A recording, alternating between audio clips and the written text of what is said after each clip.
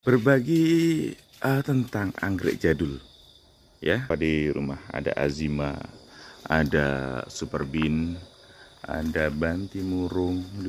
Ini bagus banget uh, bunganya sering banget terus tebel bunganya. Tahan lama banget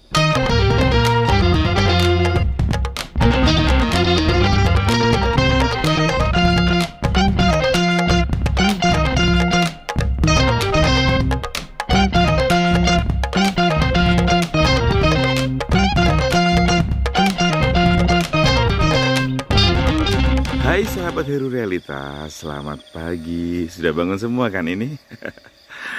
Oke, semoga Bapak Ibu diberikan kesehatan dan kebahagiaan selalu. Ya, pagi ini nih saya mau berbagi kepada Bapak Ibu tentang sedikit pengalaman saya. Karena pengalaman saya masih sedikit nih.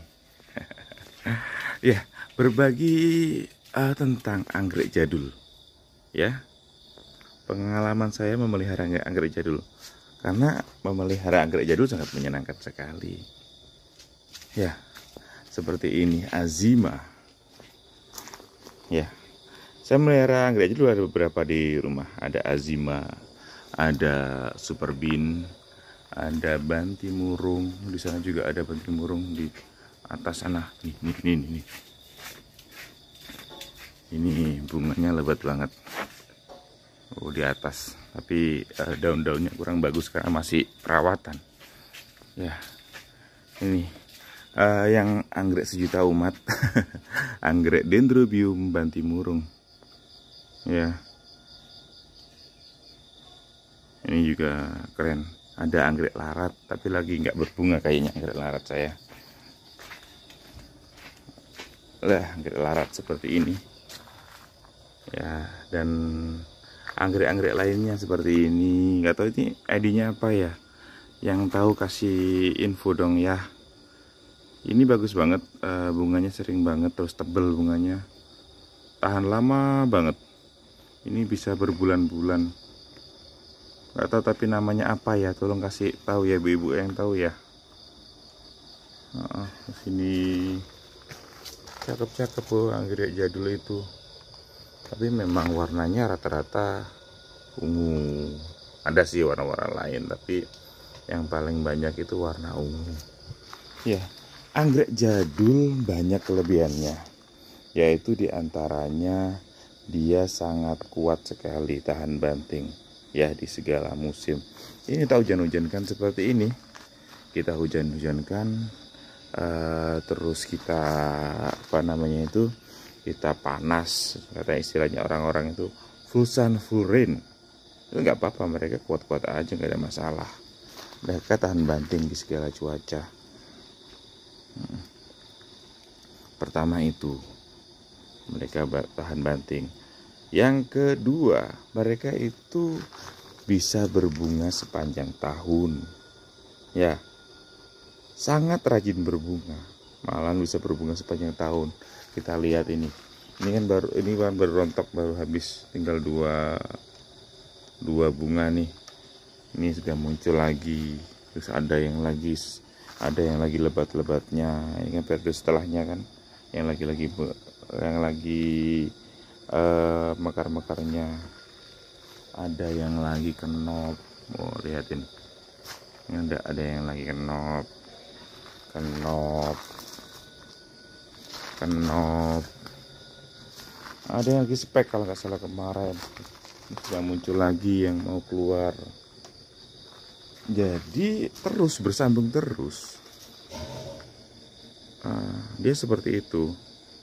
Nyambung terus gitu. Jadi kita nggak henti-henti menikmati bunganya. Rata-rata nggak jadul seperti itu. Ya entah itu kayak seperbin ini dia juga terus. Ada yang udah rontok ada yang lagi mekar-mekarnya. Ya ada yang sedang spike. Ya ada yang lagi spike juga. Banti murung juga gitu.